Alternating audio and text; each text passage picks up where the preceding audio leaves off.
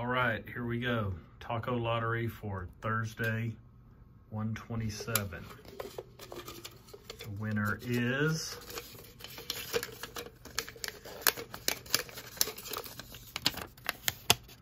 Sasquatch. Ah, that one's no good.